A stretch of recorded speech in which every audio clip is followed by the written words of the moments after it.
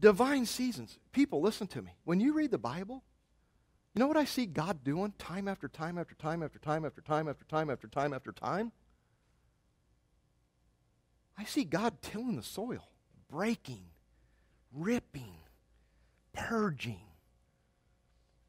getting it down to nothing. He's always and there's a lot of there's a lot not near as many where God lifts up. God takes Stephen and gets him stoned to death before he goes to heaven. God takes Paul and puts him through I don't know how many times it says he almost died. God takes Moses and gives him 2 million people that go, "We don't want to go."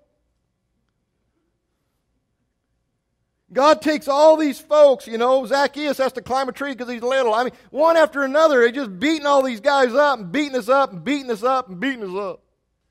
But I, I see that it's a divine season. Listen to me. God has you in a place, and it's a season to lift you up and a season to tear you down, a season to plant you and a season to purge you. You feel like you're being crushed. You have problems in your life. You have disease. You have challenges. But listen to me. Why do these come?